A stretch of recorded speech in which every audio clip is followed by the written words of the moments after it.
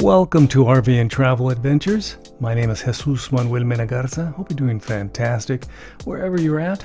In this edition, we're going to be talking about a company out of China called DFUN, DFUN.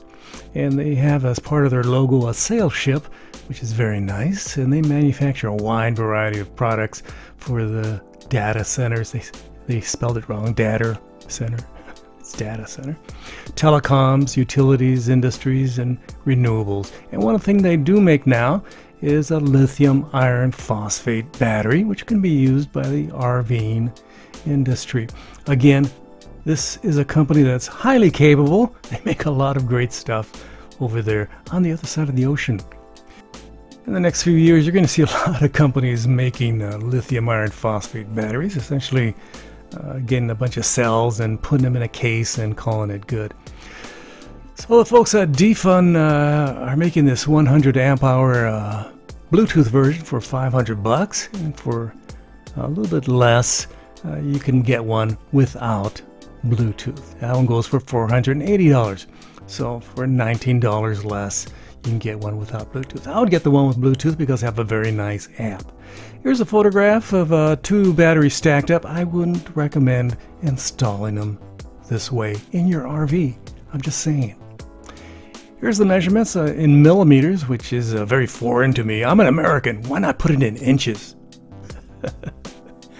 So here's some specs. Uh, you can always pause this video and you can check out the different information right here, like they use grade A cells, etc., etc. And here's a shot of their app, a very nice app, and that's what you can do when you get the one with the Bluetooth. Uh, that's uh, $19 extra for that.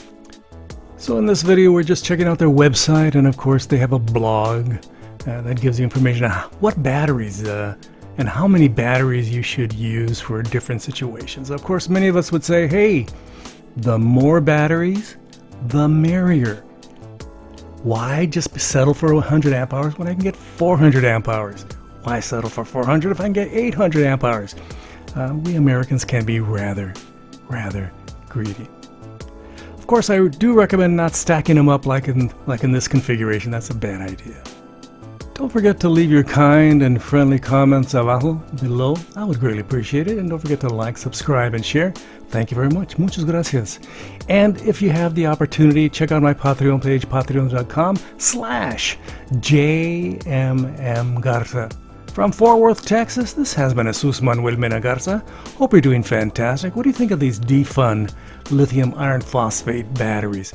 They seem very nicely built. They have an all-metal case. Can't complain about that. Again, where am I? I'm in Fort Worth, Texas. Hope you're doing fantastic. Gracias. Adios. Bye bye.